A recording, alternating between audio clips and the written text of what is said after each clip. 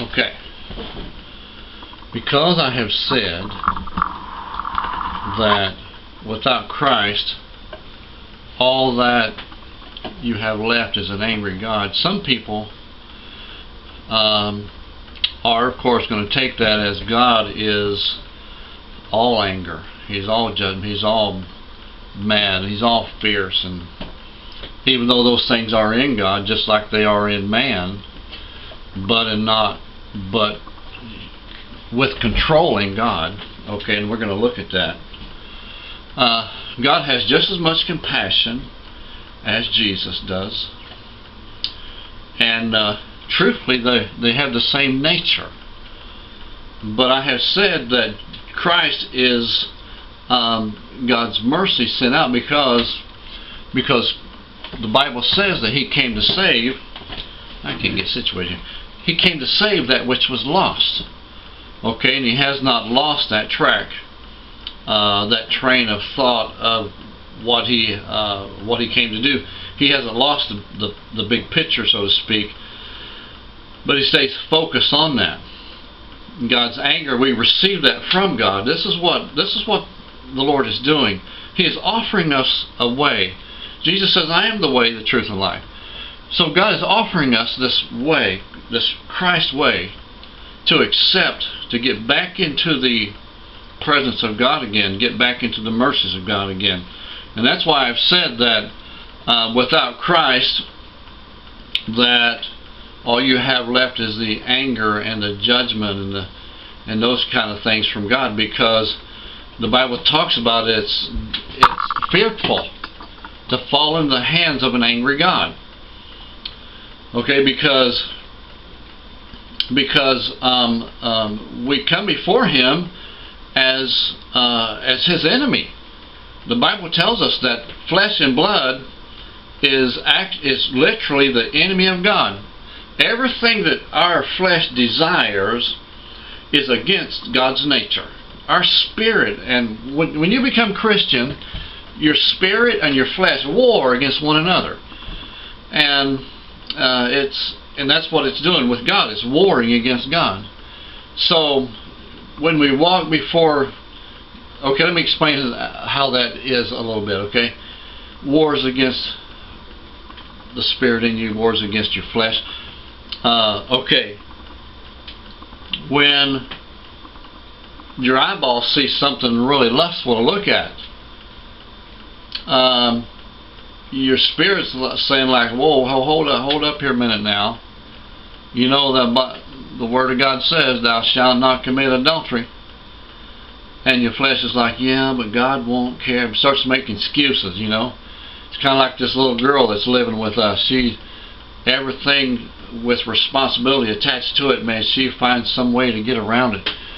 Um, she tries to find a way to get around it, but but with that thing that uh, she's doing, she doesn't realize that hey, I've raised a teenager before who did those exact same things, so I'm on to that, you know. Am I perfect in it? No, but I'm on to that one, and I will use what I know, what the Lord has showed me. So, and okay, this is what I'm talking about. Um, Hebrews 4:12 says this. I'm going to read it in a couple different versions, and I want you to see the most correct version, which is the King James.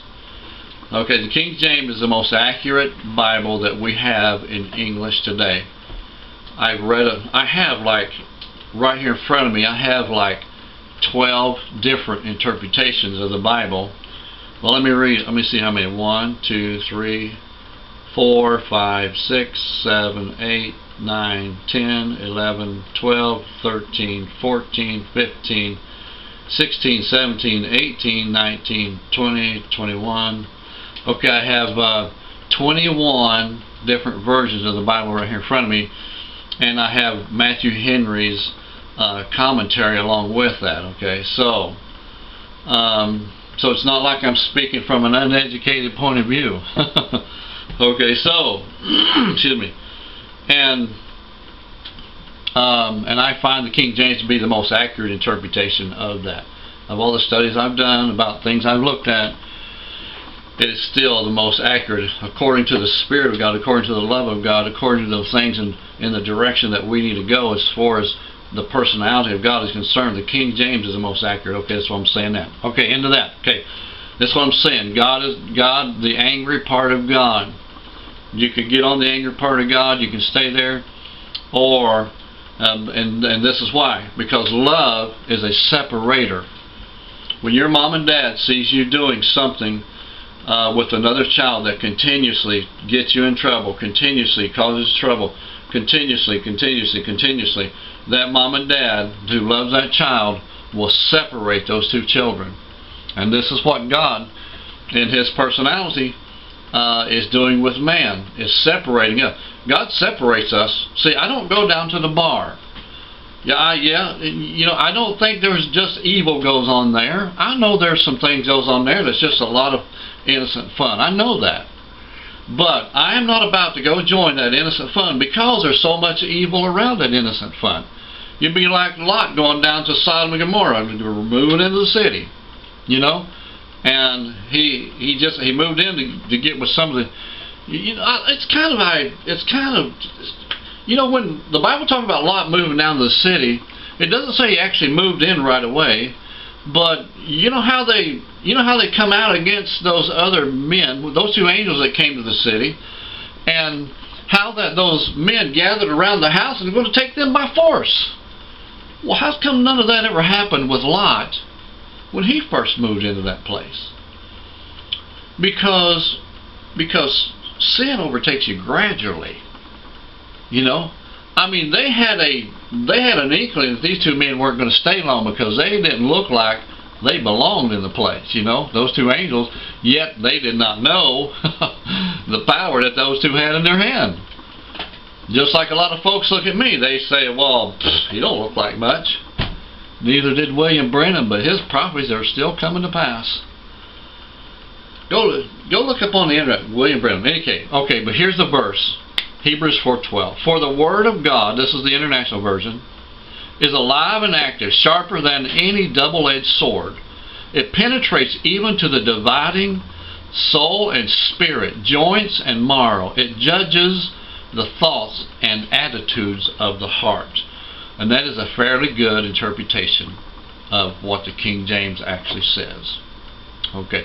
And here's the King James. For the word of God is quick and powerful and sharper than any two-edged sword, piercing even to the dividing asunder of soul and spirit, and of the joints and marrow, and is a discerner of the thoughts and intents of the heart. Do you hear that part? Even the intents of the heart. And and God separates us. He's busy every day of our life. Love separates you from evil.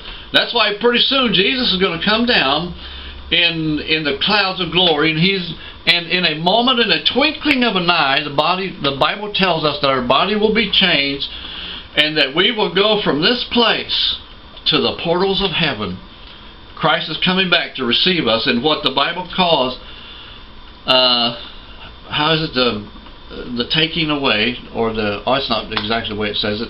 It's called the rapture, and uh, it, it the word rapture is not in the Bible, but it's uh, the word rapture is a word that men has affixed to what Jesus has said He's going to do. Come back and receive. He says, If I go away, I will come again and receive you into myself, that where I am, there you may be also. Okay, so and he says, I will come again. It doesn't say just, I, you know, you're just not going to die and go there, but uh, he will receive in himself. All right, God bless. Thank you for joining me. This is why I'm talking about. God is a separator. He's just not evil. He's a loving God, but he is also filled with judgment. He's, and he's filled with anger against sin. If you have not gotten rid of that sin out of your life, if you still love sin, listen, you're standing in a dangerous place as far as God is concerned. Without Christ, you're in danger. All right. God bless. Thank you for joining me. We'll see you next time. Another great message right here across in the middle ministry.